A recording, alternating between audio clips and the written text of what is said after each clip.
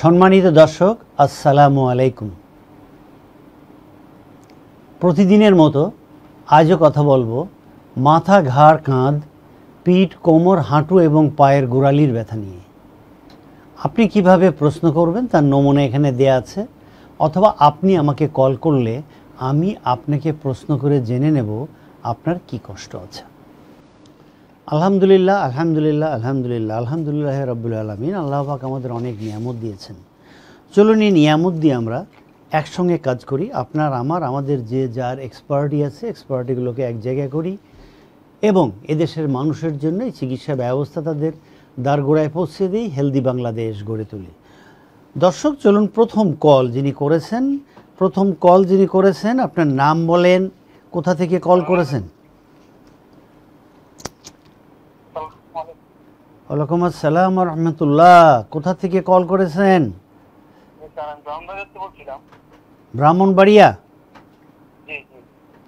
ব্রাহ্মণবাড়িয়া। ব্রাহ্মণবাড়িয়া থেকে কে বলছেন? নাম কি? হ্যাঁ? গোলাপ মিয়া। ওকে গোলাপ মিয়া বয়স কত জি আমার বয়স পঁয়ত্রিশ বসা বলেন আপনি কি কষ্ট নিয়ে ব্রাহ্মণবাড়িয়া থেকে কল করলেন? আমার আজকে সাত আট বছর ধরে কোমরের ব্যথা বহুদিন ধরে ডাক্তার কুমিরের দেখাইতেছি আমার কোমরটা আপনার কোমরে ব্যথা আট বছর যাবৎ। কোমরে ব্যথা ডান দিকে না বাম দিকে?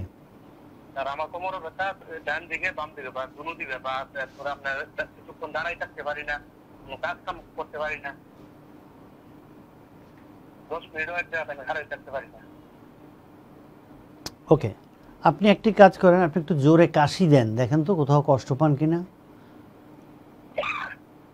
তার অনেক সময় কাটি দিলে আমি এখন আপনার যে একটা এক্সারসাইজ আছে না সাত ইয়া সাত একটা এক্সারসাইজ আছে আপনার বিরুদ্ধে আমি প্রায় পনেরো পনেরো দিনের মতো করছি কিছু কিছুটা আমার পাতলা। আচ্ছা আপনার পনেরো দিন এক্সারসাইজ করে কিছু ভালো লাগছে ওকে আপনি একটি কাজ করেন আপনি এখন শুতে পারবেন চিত হয়ে বিছানায়? আপনি বিছানায় চিত হয়ে শোন। শোয়ার পরে আপনার এই বাম দিক এবং ডান দিকের মধ্যে কোন দিকে বেশি কষ্ট হয়?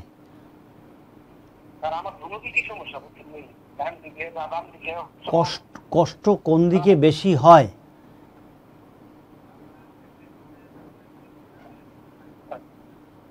আচ্ছা আপনি আপনার ডান পায়ের গোড়ালি বাম হাঁটুর উপরে রাখেন। সম্মানিত দর্শক, যারা আমাদের অনুষ্ঠান দেখছেন, তাদেরকে অনুরোধ করব আমাদের অনুষ্ঠানটিকে শেয়ার করতে। Share share share. এবং যারা আমাদের ইউটিউব চ্যানেল থেকে দেখছেন, তাদেরকে অনুরোধ করব আমাদেরকে সাবস্ক্রাইব করতে। ড্রয়ার থেকে ওই কাগজটা দাও। আমাদের দর্শক যিনি যাকে বলছে শুতে আপনি আপনার ডান পায়ের গোড়ালি বাম হাঁটুর উপরে রাখেন।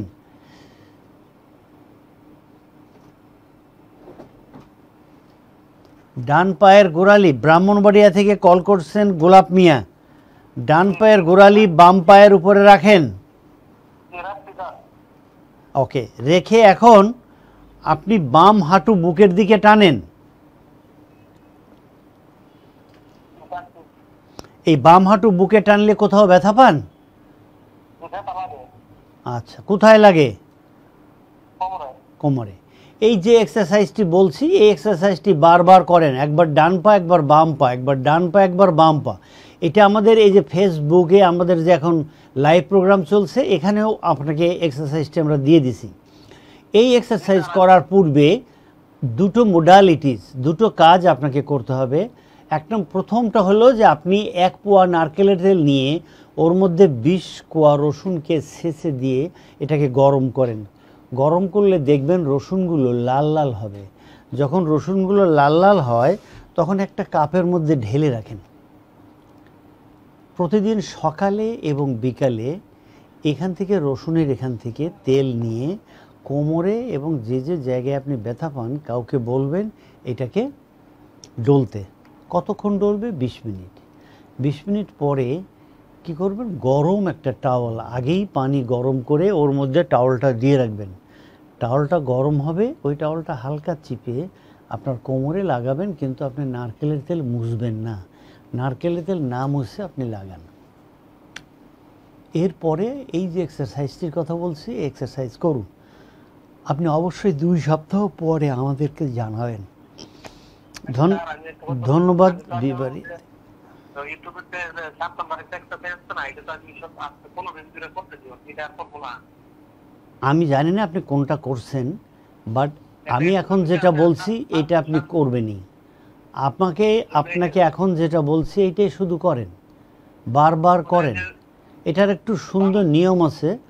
বুকের দিকে পা টানছেন যেখানে ব্যথা লাগে ওখানে হোল্ড করেন। হোল্ড করে রাখেন কমপক্ষে দশ সেকেন্ডে দশ সেকেন্ড কীভাবে হবে? দশ বার সুবাহান আল্লাহ বিহাম দিয়ে পড়তে পারেন অথবা এক হাজার এক থেকে এক হাজার দশ গুনতে পারেন অথবা আপনি যে ধর্মের হন সেই ধর্ম অনুযায়ী কোনো কথা বলতে পারেন। ওকে? ধন্যবাদ আপনাকে।